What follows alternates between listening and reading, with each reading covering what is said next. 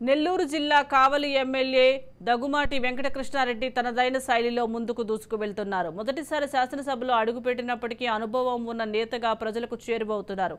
అవినీతికి తావు లేకుండా అభివృద్ధి ఎజెండాగా వినూత్నమైన ఆలోచనలతో కావలి అభివృద్ధిని పరుగులు పెట్టిస్తున్నారు. ఎన్డీఏ కూటమి ప్రభుత్వం అధికారంలోకి వచ్చిన గంటల వ్యవధిలోనే సొంత నిధులతో ముసునూరు రోడ్డు వేయించి ప్రజల మన్ననలు పొందారు. గత టీడీపీ ప్రభుత్వంలో కావలి ప్రజల దాహార్తిని తీర్చే అమృత్ పథకం పైలాన్ను కూడా కూల్చిన చోటే సుమారు యాభై లక్షలతో వంద అడుగుల ఎత్తులో జాతీయ జెండా ఐకానిక్ సెల్ఫీ పాయింట్ ఏర్పాటు చేసి ప్రజల గుండెల్లో సుస్థిర స్థానం ఏర్పాటు చేసుకున్నారు.